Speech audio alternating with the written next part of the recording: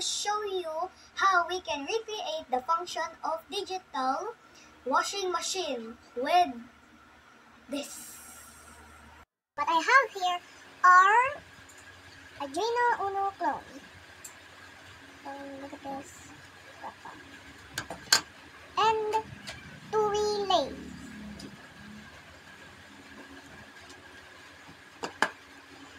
And a battery pack.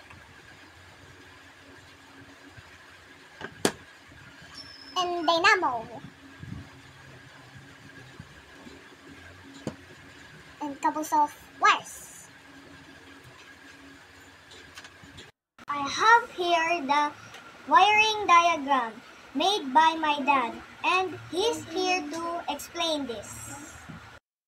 Alright, so this wiring diagram will explain how we can recreate the function of digital washing machine.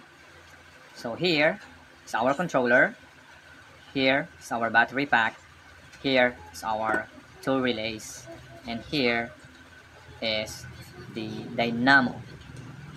Let's start with the controller. If you have questions, please feel free to comment below. So we will be using two digital outputs of our uh, from our controller. So in this case, let's use digital output 0 and digital output 1. And also, we will use the power supply from our controller, the power, and the ground. That is to supply our two relays. Okay, here, the digital output 0 will be used to trigger our first relay and the second digital output will trigger our second relay. On the other side of our relays are the pins. For the first relay, the normally closed, the common, the normally open, and same case with the second relay. This is our normally closed. As you can see, it is connected to the common. This is the common, and this is the normally open. Same case with the second relay. So we have the positive terminal and the negative terminal.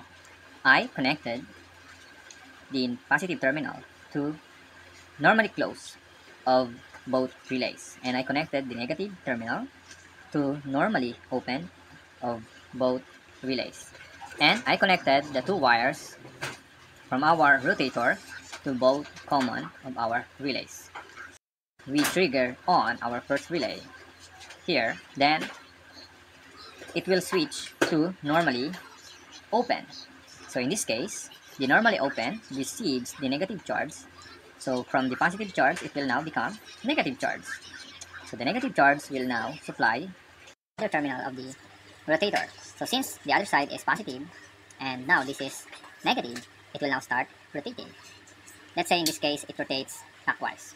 And if we want it to stop, then we'll just trigger off our relay. And if we want to rotate it backward, or in this case counterclockwise, then we just have to trigger on our second relay. So if we trigger this on, it will now switch to normally open, and it will now supply the negative charge here. And since this is a negative and this one is a positive charge, it will now rotate backward.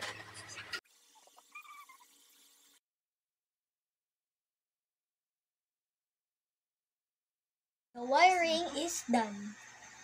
So open your sketch and I have here the uh, code for our washing machine setup.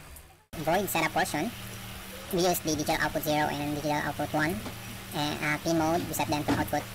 And for our void loop function, we first set the pin 0, digital output 0, to turn on, so to high. And we wait for 2500 milliseconds or 2.5 seconds. Then we turn it off, we set it to low.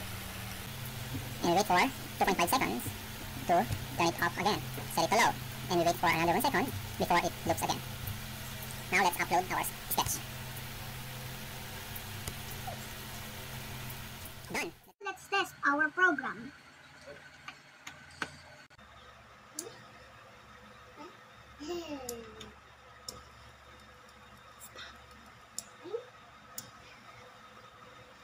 It works!